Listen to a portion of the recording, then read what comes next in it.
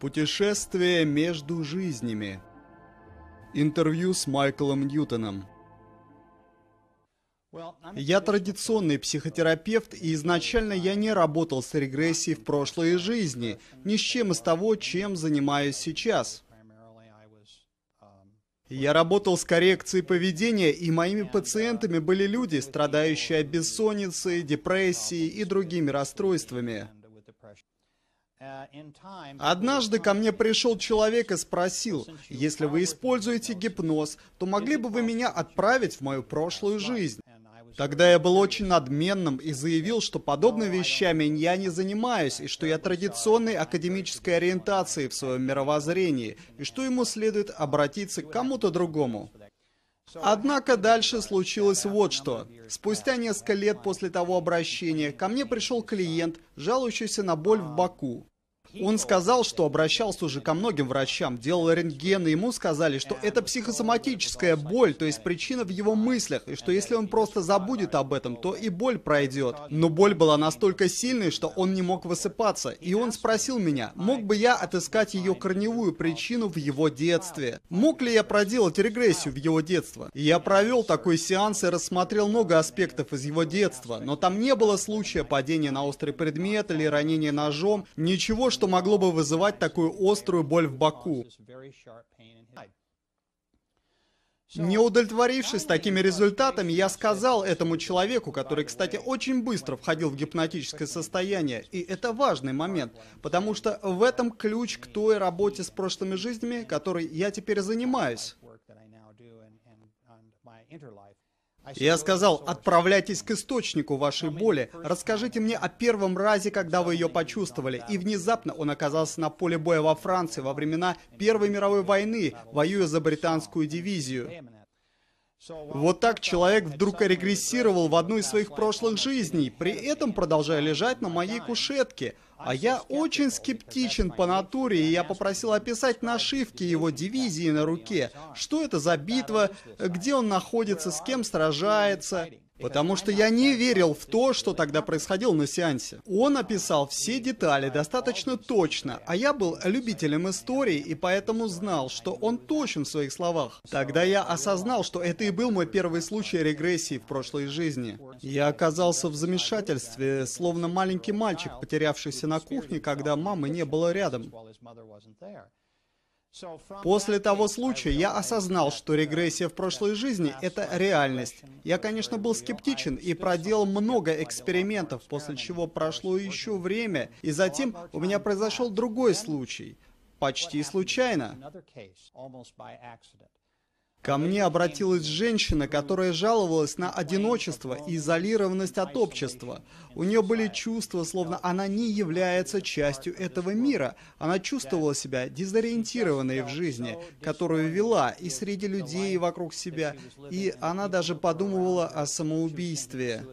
И я также начал работать с этой женщиной, но не касаясь прошлых жизней. Мы работали с ее детством, под гипнозом пересматривая ее ранние годы, и ничего такого не появлялось. Но, как и в случае с тем мужчиной, я попросил ее, отправьтесь к источнику вашего одиночества и нехватки компаньона. И опять же, она погружалась очень быстро и глубоко до уровня гипнотического сомнамбулизма, была очень гипнабельной. И тогда она сказала, «Прямо сейчас я вижу всех своих компаньонов прямо перед собой». И я не понял, подумав, о ком вообще идет речь, что за группа поддержки, кто все эти люди. А она уставилась взглядом в стену моего кабинета и сказала, «Это мои родственные души». Их там было восемь, и она писала, кто есть кто. Я не мог в это поверить. Мурашки пробежали у меня по спине, ведь тогда я говорил с кем-то, кто рассказывал о жизни между жизнями. И это была область, с которой я никогда не имел дела, никогда не читал никаких книг об этом. Да и не было таких книг, где бы даже затрагивалась эта тема. После того случая я начал исследовать область пребывания между жизнями. С тех пор постепенно моей практикой стала помощь людям, которые бы хотели узнать о своей бессмертной природе. Ко мне стали приходить люди, интересующиеся, кем они на самом деле являются, кто их родственные души, что у них за духовная группа, для чего они здесь на Земле и так далее. Для меня это основные вопросы в жизни, и психологическая польза их в том, что знание этих ответов поддерживает людей и придает им силы. Вот как я пришел к тому, чем занимаюсь сегодня.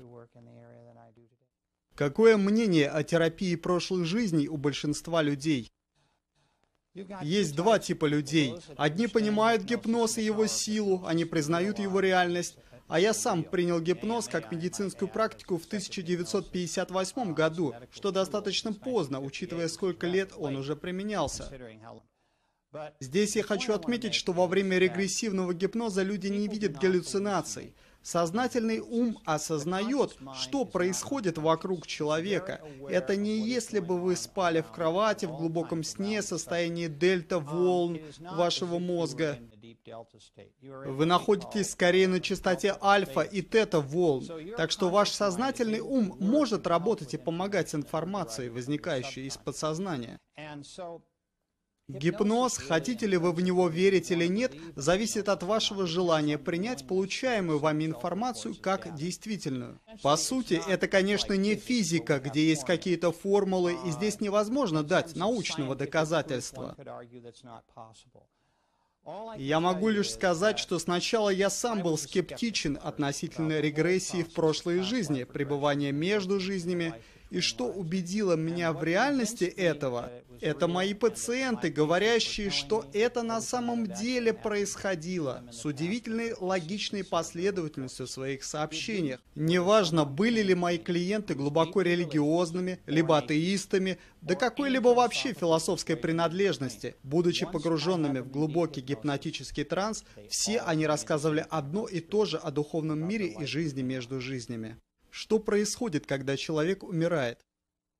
В момент смерти вы поднимаетесь над своим телом и можете взглянуть на него со стороны. Сейчас уже есть много описаний околосмертных опытов, также и вышло много книг про это. Пережившие такой опыт выступали на радио и телевидении, и они описывали, что они тогда чувствовали и переживали.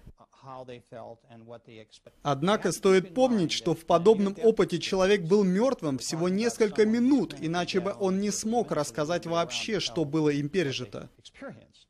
В моей практике клиент может на протяжении трех часов отвечать на вопросы обо всем этом. Также клиенты находятся в расслабленном состоянии, и это не какое-то травматическое переживание, так что они могут описать очень ясно, что с ними происходило. Теперь стоит сказать, что существует два вида душ. Одни более развитые, а другие начинающие души.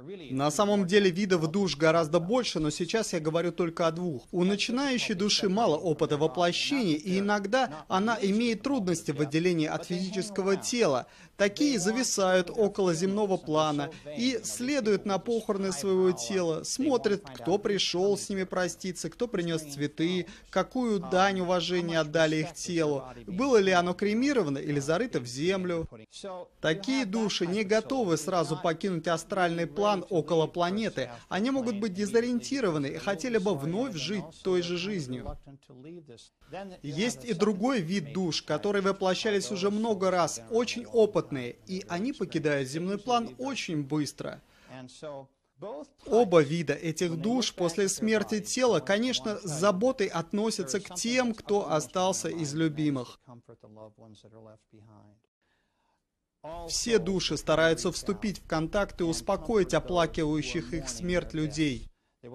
Они пытаются как-то привлечь их внимание, посылать им сильные мысленные послания, чтобы было понятно, что они все еще живы. Иногда это тяжело, потому что, переживая горе, человек просто не в состоянии замечать такие послания, так что души не могут сообщить что-то своим любимым в течение дней, а может недели, месяцев спустя. Но намерение их в том, чтобы близким было хорошо. Когда же они уходят с земного плана, то описывают яркий свет и тоннели, такие же, как в сообщениях, переживших околосмертный опыт. Теперь позвольте объяснить кое-что важное. Мы могли слышать о том, что при околосмертных опытах люди видят религиозных лидеров, но я не встречал ни одного случая за всю свою многолетнюю практику, кто когда-либо видел лидера какой-то религии.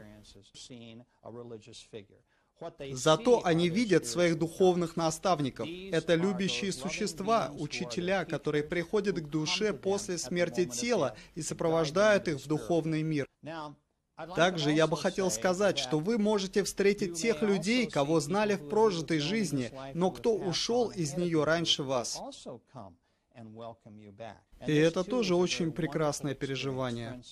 Можно встретить свою мать, лучшего друга, брата или сестру. Это очень трогательное и красивое переживание. Как выглядят души? Когда только что умерший человек видит своих духовных наставников или души ранее умерших известных ему людей, родственные души, они обычно видят проекцию знакомого им лица. Они могут выглядеть знакомыми для только что умершего человека или выглядеть так, чтобы умерший мог их легко узнать. Так что лица и внешний вид может различаться.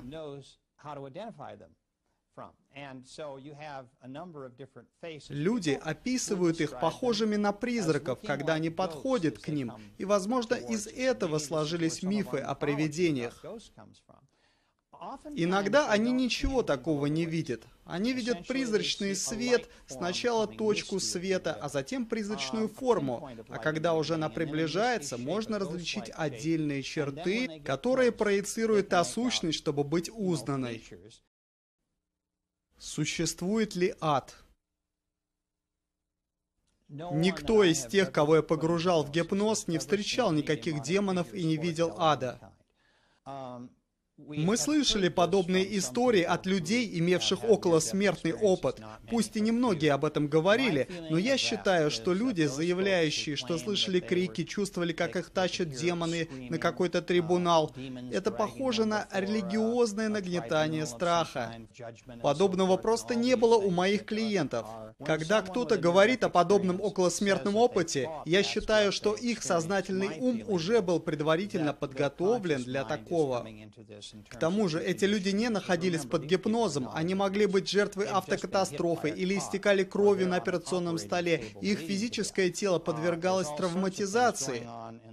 И, как я считаю, их сознательный ум был перегружен всеми этими страхами и тревогой, которые они связывали с существованием после смерти и которые теперь проявились таким образом, и они не описывают действительно существующие явления, как если бы их утаскивали демоны и вели на наказание.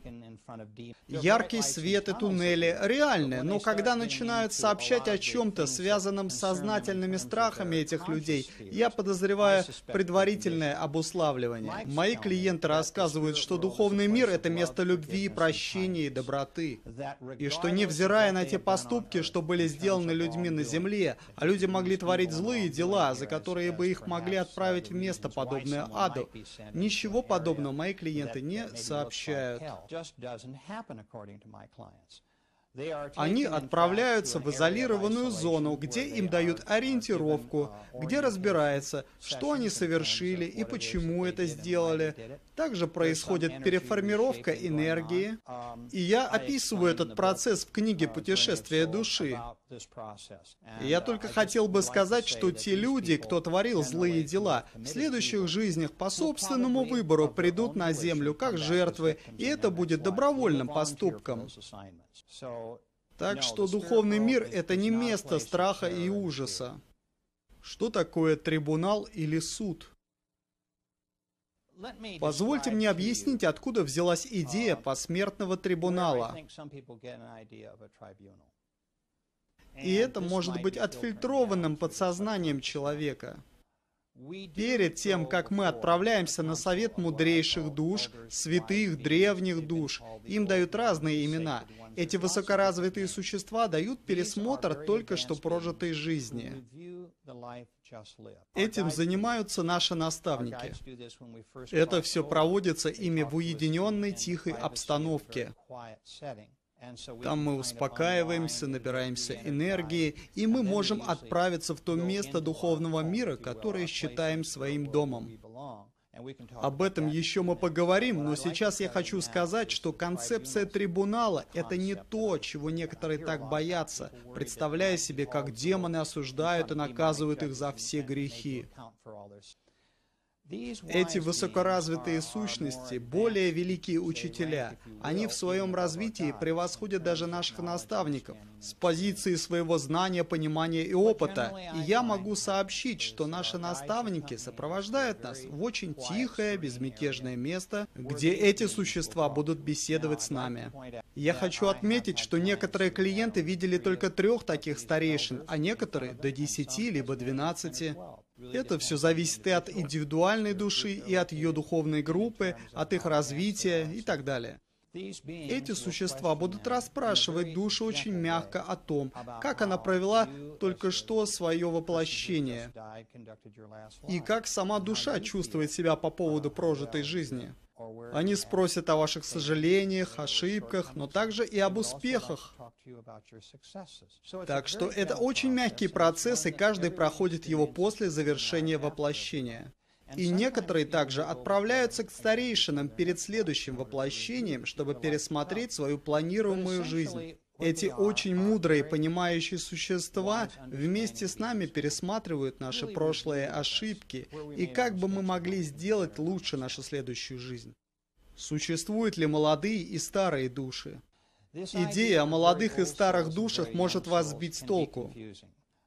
Разрешите объяснить, почему. Вы можете быть старой душой, воплощаться с каменного века, но вы не усвоили свои уроки хорошо и быстро. Так что вам понадобится пройти путь от начинающего до среднего уровня и затем к уровню более продвинутой души, просто потому что вам необходимо больше времени и жизни, чтобы проделать все, что надо сделать. Я также знал тех, кто прогрессировал очень быстро. Одна женщина воплощалась на Земле на протяжении всего 4000 лет, и за это время развелась от начинающей до среднего переходного уровня. Это быстро. Это можно определить по цветам ауры, которая есть у души в духовном мире. Однако эти цвета не связаны с аурой человека на Земле. По цветам их энергии я могу определить уровень развития души. Мне потребовалось очень много времени, чтобы изучить все эти моменты. Мне пришлось собирать этот пазл по кусочкам. У меня не было сразу готовой картины во время первого сеанса с той женщиной. В случае жизни между жизнями. Мне пришлось серьезно поработать, потому что люди сами так просто не сообщают всю информацию. И собрать все это заняло у меня много лет. Также я бы хотел сказать, что я старался вести свою работу беспристрастно. Когда я спрашиваю о наставниках, старейшинах и так далее, я говорю, что вы видите, а не сообщаю, вы видите то или это. Так что независимо от того, сколько сеансов с клиентами я уже провел, материал для них оказывается свежим. Я задаю открытые вопросы. Так что мне дают те ответы, что рождаются в их умах. И наиболее интересные и полезные ответы приходят от совета старейшин. Как насчет призраков? Среди людей существует заблуждение по поводу призраков. Я считаю, что есть сущности, не покинувшие астральный план, потому что еще не готовы. Они чем-то очень расстроены, возможно, те люди были убиты и ищут отмщения, ну и так далее. В мире душ никто никого не заставляет делать что-то. Когда такие души готовы, им помогают перейти в другой мир старшие помощники. Также могу добавить, согласно моему собственному исследованию по теме привидений. Я верю в дуальность реальность души. У души есть способность жить параллельные жизни, разделять свою энергию между плотным и тонким мирами. Так что может существовать и призрак с частью энергии на околоземном плане, и в то же время можно обнаружить, скажем так, голографический образ той же души и в мире душ одновременно. Мы никогда не прекращаем обучение. И на самом деле никогда не теряем связи с миром душ. Что такое группы душ? Группы душ – это один из самых интересных аспектов моей работы. Причина в том, что люди, которым я помогаю войти в контакт со своей группой душ, сообщают мне, что их уровень развития зависит также и от того, насколько продвигаются и остальные члены их группы. Это дает мне большее представление об уровне развития индивидуальной души. В каждой группе душ есть разнообразие личностей. Там есть храбрые и кроткие души, есть пассивные души, есть души, больше помогающие другим, и те, кто больше концентрируется на себе. Есть души тихие и созерцательные, и есть души весельчаки. Исходя из этой информации, я могу во многом определить психологически тот тип группы, из которой происходит мой клиент, и что я могу сделать, чтобы помочь ему в смысле уроков этой жизни и его предназначения.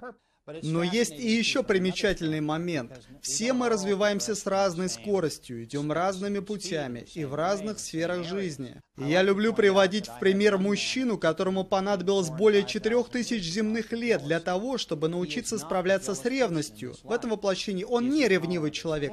Он крайне нетерпимый, и мы как раз работали над этим, но он не ревнивый. Такова была его конкретная проблема, над которой пришлось столько работать. Но в его группе душ есть и очень терпимые, знакомые, и они пытались помочь ему между воплощениями. Вот что я имею в виду о показателях прогресса развития. Также я обнаружил, что вся группа душ для развития касаются общих задач и проблем, и так они продвигаются совместно. Кто-то быстрее, кто-то медленнее, но в сути своей они все почти на одном уровне развития. В чем заключается предназначение жизни? Изначальный замысел для нас — это изучать уроки, становиться лучше, понимать больше то, в каком моменте развития мы находимся и куда нам надо идти. Причина, по которой это настолько важный вопрос, многие люди, с которыми я работал, воплощались в других мирах и измерениях, кроме планеты Земля. Особенность воплощения на Земле — это состояние амнезии, когда в человеческий ум устанавливается блокировка памяти после воплощения, так что мы не знаем, как вспомнить ни о мире души, ни о душах наставниках. Что интересно, для совсем маленьких детей ситуация иная. Можно увидеть одного двухлетних мальчика или девочку, играющих в песочнице с воображаемыми друзьями, которые могут и не быть просто воображаемыми. Но к возрасту поступления поступления в первый класс обычно такое восприятие и проблески памяти затухает, тогда и устанавливается блокировка как амнезия. Они уже не помнят себя как души, они не помнят и своих друзей из мира душ. Стоит отметить, что планета Земля — это место для самоисследования. Идея в том, что не зная тестовые вопросы до прихода сюда, вы решаете свои проблемы самостоятельно, в свое время и обстоятельства в данном теле. Конечно, у тела могут быть и генетические проблемы. Души выбирают себе тела и с проблемами, например, агрессивного поведения, либо же с химическим дисбалансом, что вызывает другие проблемы с поведением. И эти проблемы воплотившимся необходимо преодолеть, чтобы постигнуть уроки, ради которых они пришли на Землю. Отмечу, что это делается по замыслу. Каждый из нас выбрал себе именно такое тело. Заранее есть общие представления о том, каким именно будет это тело, и души выбирают себе тела с помощью своих наставников для того, чтобы получить конкретные уроки. Но есть и те души, кто воплощаются на других планетах без подобного рода амнезии. Они могут быть там и летающими, и подводными существами, при этом очень разумными. Они могут быть межпространственными сущностями, они могут быть огненными, водяными или газообразными. Существует великое множество способов для нашего развития и понимания, кто мы такие на самом деле и о силе нашей энергии. Земля — это только одна из школ. Какова конечная цель для души?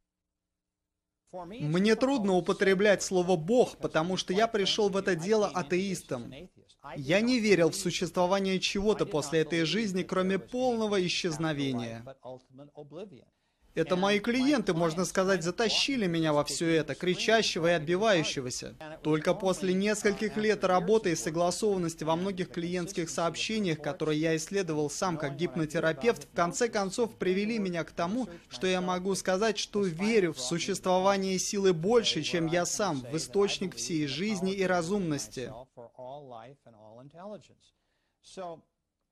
Идея перевоплощений в том, чтобы дойти до этого состояния совершенства, когда мы можем, скажем так, воссоединиться с тем источником, из которого возникли. Есть ли в мире душ место веселью? Это одна из наиболее веселых сторон моей работы. Некоторые люди думают, что я провожу слишком много времени во всем этом, и что я не принимаю всего этого очень всерьез.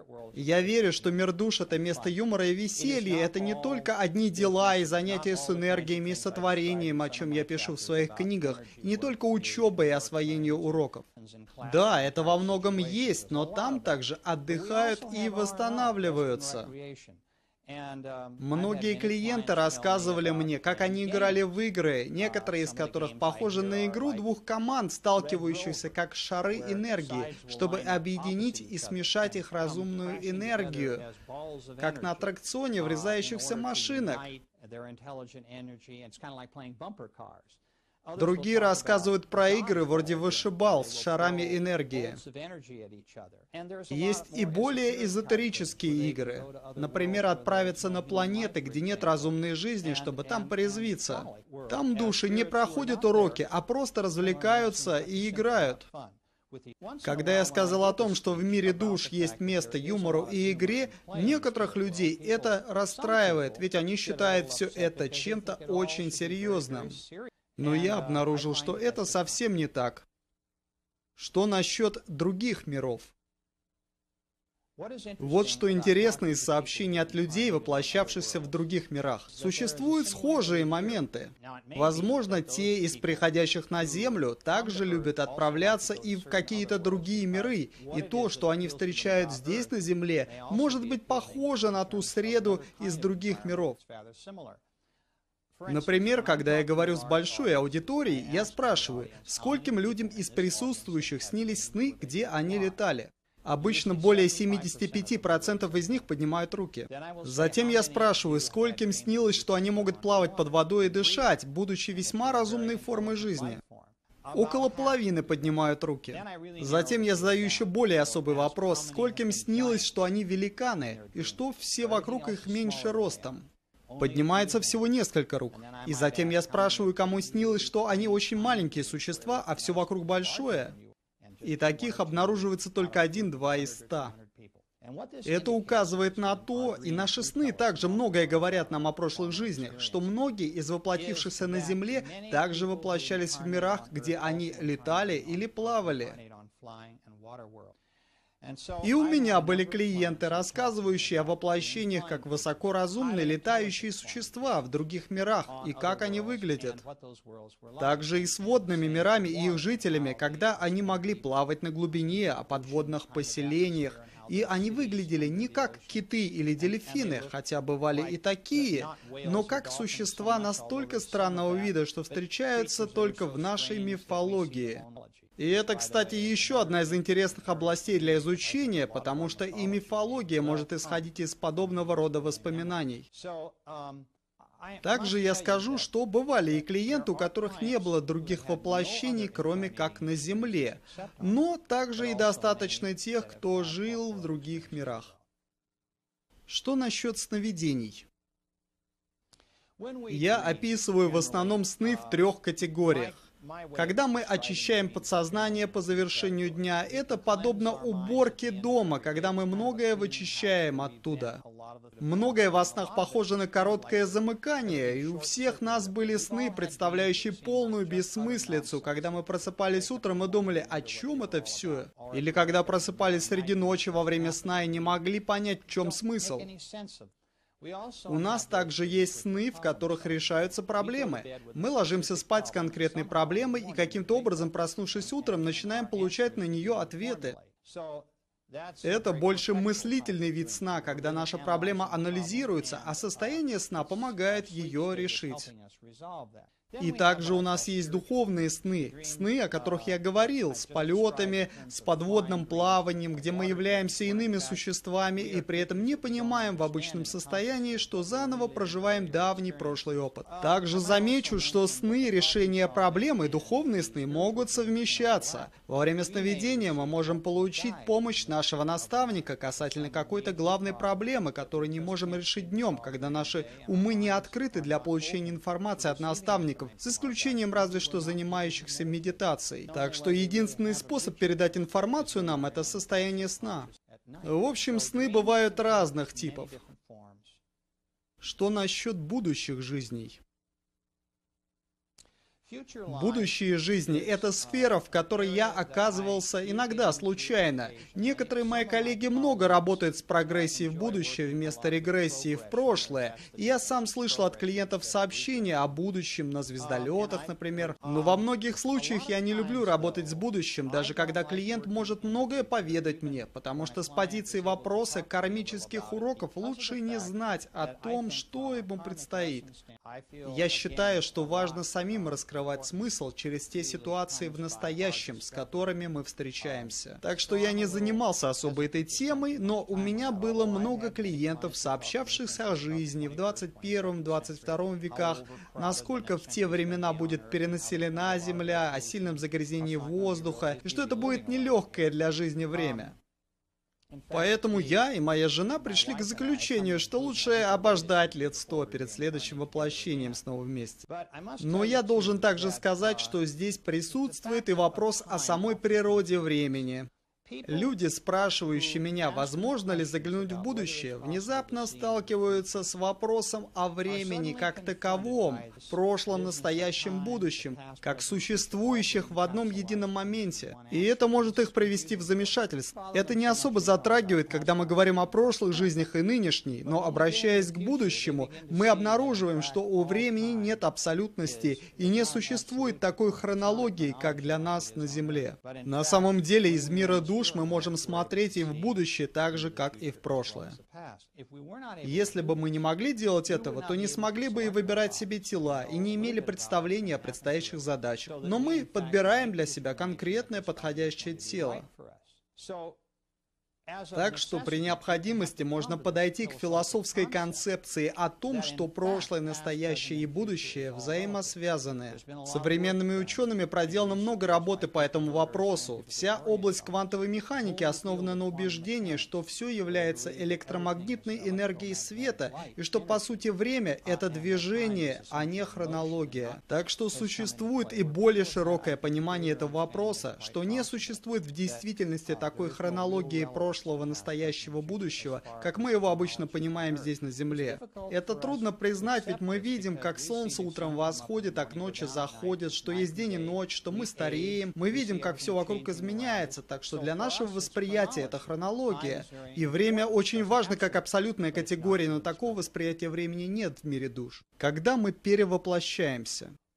Когда душа решает, и в этом ее поддерживают наставники, что настает время двигаться дальше и снова воплотиться, души отправляются в место, где изучают тела, из которых можно выбирать. Я обнаружил, что у разных клиентов этот момент варьируется. Кому-то предоставляется три тела на выбор, кому-то только одно, но не было такого клиента, кто бы сказал, что выбор ему не подходит.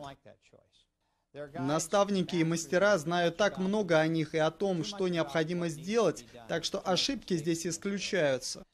Я обнаружил, что многие очень рады выбрать именно такое тело для своей следующей жизни.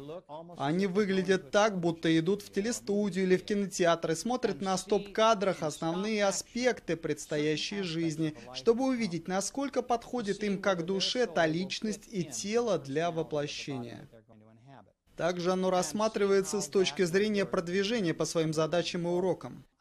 Я хочу отметить, что это крайне важная часть моей работы для понимания, как разум души сопрягается с эго-умом, с мозгом тела, в котором предстоит воплотиться человеком. Как я уже отмечал ранее, разные личности души комбинируются с соответствующими телами, и в утробе нами производится анализ, каков этот человеческий ум, насколько можно с ним соединиться. То есть есть два аспекта ума. Как только мы рождаемся, происходит это слияние.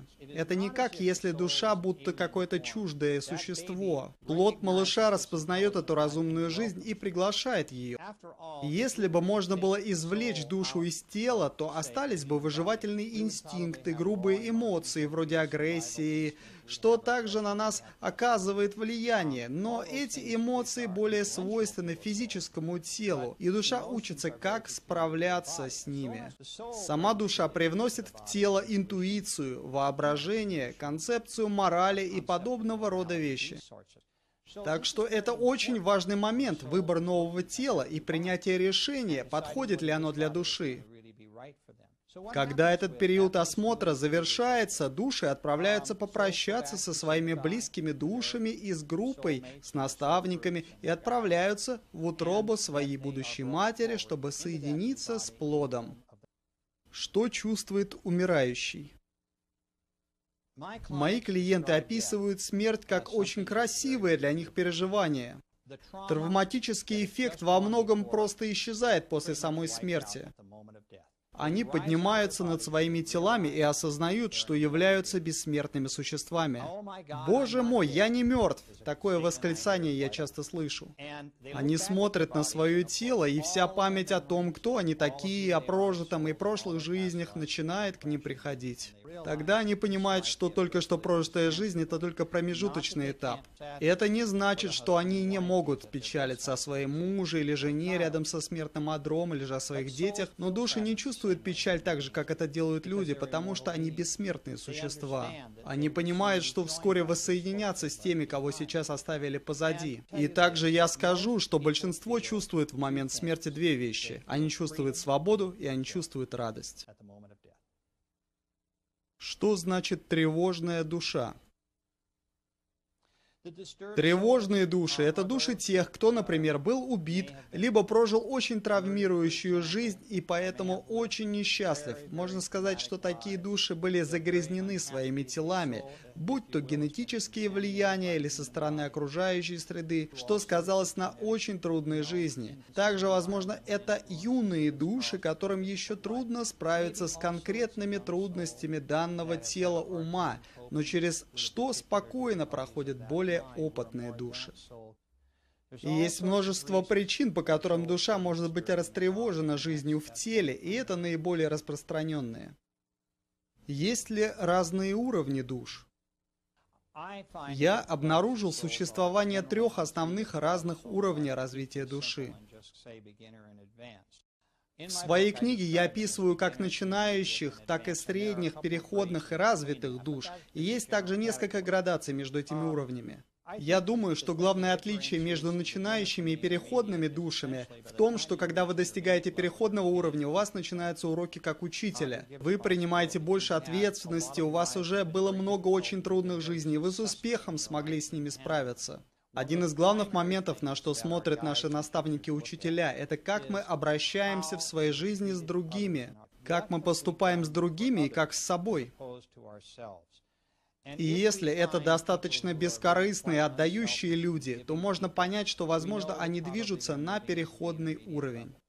А между переходным и продвинутым уровнем отличие в том, что вначале душа только учится быть учителем, а потом развивается до продвинутого учителя. И у более развитых душ работа очень требовательная. У многих из них есть несколько душ, которых они обучают в воплощениях как на Земле, так и в других мирах.